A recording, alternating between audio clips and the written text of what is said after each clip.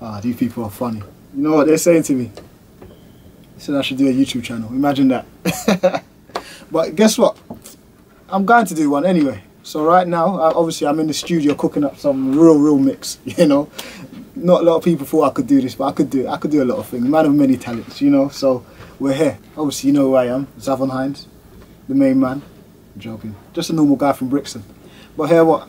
Like I said, I've got a new YouTube channel, and I want to explain my story, tell everyone my story, and also speak to a lot of influential people that I know within the game, football game, um, music industry, and also young kids that's going through certain things that I went through as a young kid as well. So one of my main things about in life is to be someone I never had. So I started this YouTube channel to try to inspire, but also try to do something different, fun, and interactive. So I'm here for it and we're going to do it together. So let's get it.